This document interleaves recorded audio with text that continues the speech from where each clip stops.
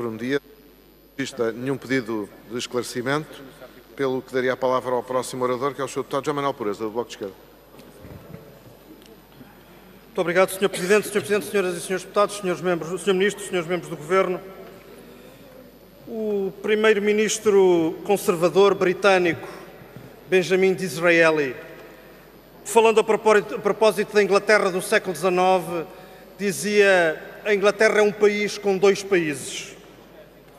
Quando os efeitos do liberalismo económico provocavam mais rupturas e rupturas mais profundas na sociedade britânica, Disraeli falava de dois países. Há longo tempo que Portugal é, a vários títulos, um país onde há dois países. E as políticas de austeridade dos últimos anos agravaram intensamente essa dicotomia entre dois países, entre o país pobre e o país rico, entre o país litoral e o país interior, entre o país das cidades e o país das aldeias. O que divide estes dois países é a existência ou não de condições para o exercício efetivo de direitos fundamentais, a presença efetiva ou não de uma rede de serviços públicos de vocação universal justamente distribuída pelo território do país. Por força da obsessão austeritária, o chamado emagrecimento das gorduras do Estado fez-se rolo compressor e arrasou tudo à sua frente.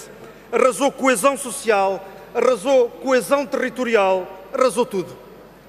Há um país em que o encerramento de tribunais se juntou ao encerramento de unidades de saúde, de escolas, de correios, de outros serviços públicos, privando uma parte importante dos nossos concidadãos de oportunidades para serem plenamente gente com direitos.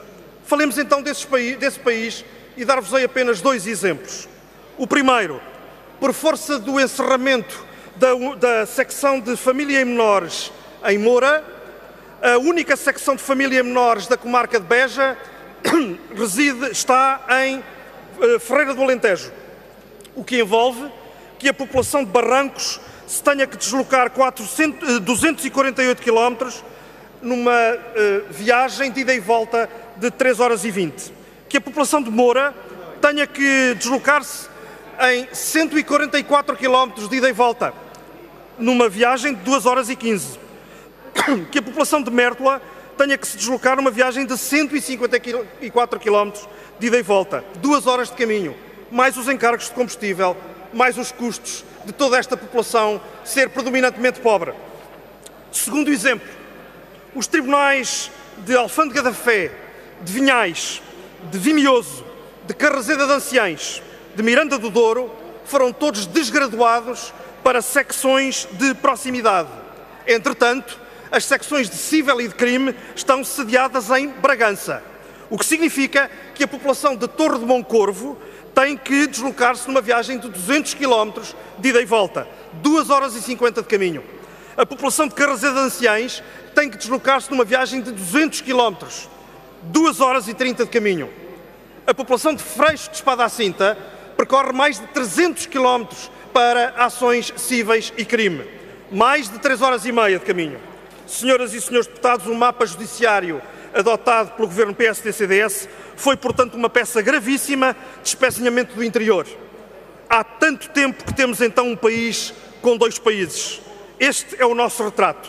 Mas nós temos que ser um só país, na justiça, na saúde, no ensino, enfim, no direito de todos e de todas. Esse é o compromisso do Bloco de Esquerda. Muito obrigado.